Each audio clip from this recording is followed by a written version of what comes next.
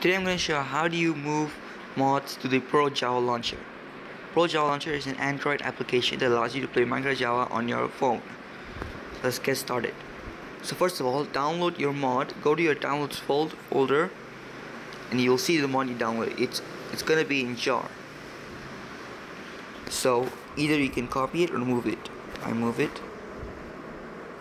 So search for the games folder search for a Pro Java Launcher folder. Games. Pro Java Launcher. You see Minecraft here. Go there. And on top you'll see the mods folder. Press here. Move to here. It's very simple. And it doesn't really need to, need much complicated instructions.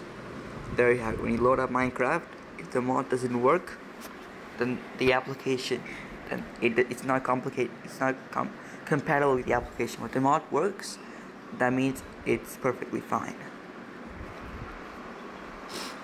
Um, if you enjoyed this video leave a like to subscribing for more video more Minecraft uh, mods and add-on tutorials and stuff